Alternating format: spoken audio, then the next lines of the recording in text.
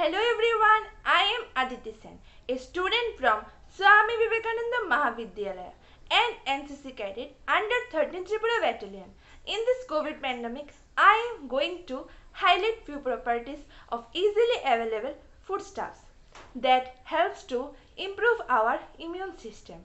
Our immune system is an integrated network that combats invaders like bacteria and viruses. You can strengthen it to fight off diseases. Keep your body shoulder fit and ready by eating food. That will give your immune system a boost. So, let's talk about some nutritious vegetables, fruits and spinach. Tomatoes and papayas.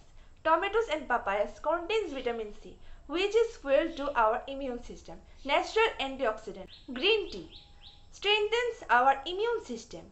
It contains flavonoids and antioxidants that boost immunity. Spinach. Spinach has high content of fluid, vitamin A, vitamin C, fiber, manganese and iron.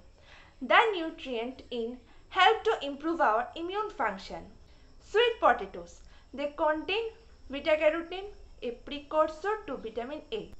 This nutrient aids our immune system by helping to produce white blood cells, which fight off bacteria and viruses.